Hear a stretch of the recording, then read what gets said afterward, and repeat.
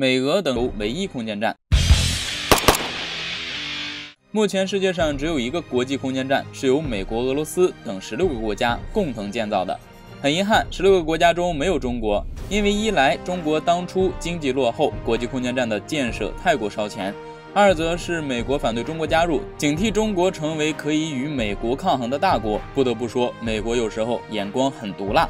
中国的确有潜力成为世界强国，并且在美国百般打压下还是壮大了。十六个国家合作而成的国际空间站当然是个好东西，在科学研究和，但是要在空间站排查出直径约为零点一毫米的小孔，实在是太为难了，只能初步将小孔定位在俄罗斯的星辰服务舱。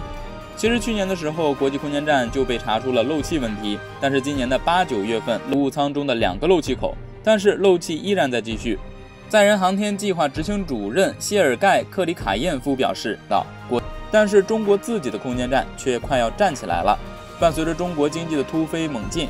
航天航空事业也在高歌猛进。长征七号、天宫二号、神舟十一号、天舟一号嗖嗖嗖的往天上发，为中国空间站研制建设打下了坚实的基础。